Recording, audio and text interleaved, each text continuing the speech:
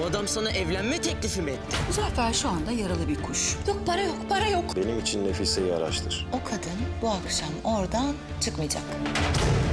Kız.